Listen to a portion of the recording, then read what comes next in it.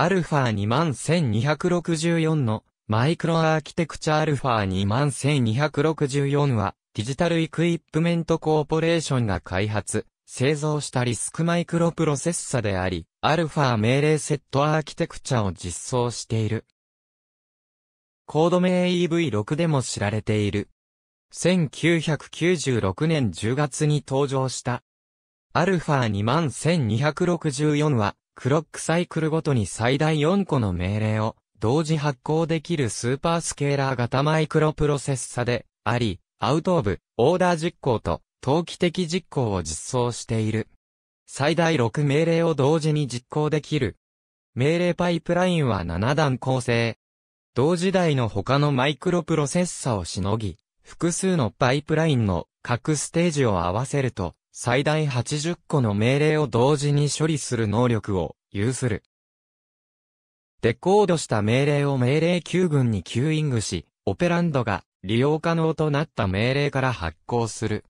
整数命令9には20命令、不動小数点命令9には15命令まで蓄えることができる。それぞれの Q は対応するパイプライン群と同数の命令を発行できる。EBOX は整数演算命令、ロード、ストア命令を実行する。二つの整数演算ユニットと二つのロード、ストアユニットと二つの整数レジスタファイルを持つ。整数レジスタファイルは、それぞれ80エントリで、うち31本は、アーキテクチャ上のレジスタ、41本は、レジスタリネーミング用、8本は、 PAL コード用レジスタである。R31 レジスタは常に0なので、レジスタファイル内のエントリーを使っていない。レジスタファイルはそれぞれ、整数演算ユニット1つとロード、ストアユニット1つに対応しており、それら3つをまとめて、クラスタと称する。2つのクラスタを、それぞれ、U0 及び U1 と呼ぶ。このような構成になっているのは、レジスタファイルのリード及びライトのポート数を削減するためであり、結果として、レジスタファイルに必要なチップ面積を低減し、高クロック周波数での動作を可能とする。まるで、マルチコアのような構成だが、マルチコアではないので、レジスタファイルへの書き込みは常に同期を必要とし、結果として1%の性能ペナルティを生ずる。この性能ペナルティを保証するため、第1により高いクロック周波数で動作させ、第2に、もう一方のクラスタが使用中のレジスタを、オペランドとして必要とする命令を発行機構が発行しないようにして依存関係が発生するのを防いでいた。二つのクラスタには二つの違いがある。U1 には7サイクルのパイプライン化乗算器があり、U0 にはマルチメディア拡張命令用の3サイクルのパイプラインがある。 MVI は Alpha ISA の SIMD 命令拡張である。ロード、ストアユニットはメモリアクセスのための実行アドレスを計算する単純な演算装置を含んでいる。これを単純な算術命令や論理命令の実行にも使用することができる。命令発行機構はこれを考慮しており、アドレス計算をしていない状態であれば、ロード、ストアユニットに対して、ロード、ストア命令以外の命令も発行する。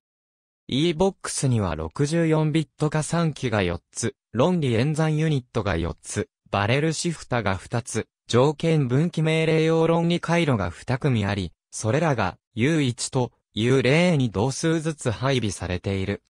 フボックスは不動小数点演算命令を実行する。2つの不動小数点演算パイプラインと1つの不動小数点レジスタファイルがある。二つのパイプラインは同一ではなく、加算パイプラインは乗算以外のあらゆる不動小数点命令を実行し、もう一つは乗算が命令専用である。加算パイプラインには、パイプライン化されていない不動小数点乗算ユニットと平方根ユニットが接続されている。加算や乗算など多くの命令の0点子は4サイクルで、倍精度序算の0点子は16サイクル。単精度序算の0点子は33サイクルである。不動小数点レジスタファイルは72エントリで、うち32本がアーキテクチャ上のレジスタ、残り40本はレジスタリネーミング用である。キャッシュは1次と2次の2レベル構成である。アルファ21164の3、レベルキャッシュ構成は、帯域幅に問題があるため採用されなかった。分岐予測には統合分岐予測アルゴリズムを採用している。このアルゴリズムは DEC のウエスタンリサーチラボラトリーのスコット・マクファーリングが開発したもので、1993年に論文で発表している。21264で実装された分岐予測機構は予測失敗時のペナルティが最短で7サイクルとなる。命令キャッシュには2サイクルの0点子があり、命令9もあるため、平均的な誤予測のペナルティは11サイクルとなる。そのアルゴリズムは2種類の分岐予測方式を持ち、分岐命令ごとにどちらの予測を採用するかを決定する、もう一つの予測機構を持つ。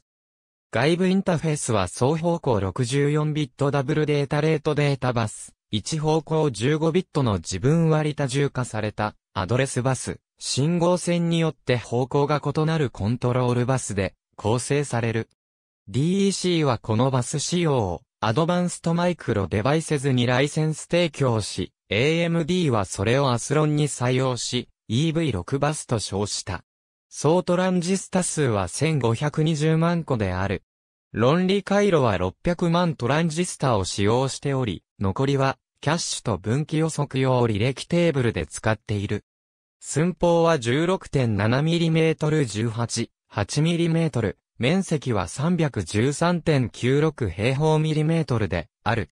0.35マイクロメートル CMOS プロセス、6層配線で製造された。587ピンの千鳥配置のピングリッドアレイである。 Alpha Processor, Inc. は、アルファ21264と二次キャッシュと電圧レギュレータをプリント基板上に実装し、スロット B という形にパッケージしたものを販売していた。これは、インテルと AMD がスロット型のパッケージで成功していたことを真似たもので、ある。スロット B は本来、AMD のアスロン向けに設計され、量産効果で21264のパッケージのコスト低減を図る狙いがあった。しかし AMD はスロット A を採用したため、その狙いは外れてしまった。DEC とアドバンストマイクロデバイセズが α21264 用チップセットを開発した。ありがとうございます。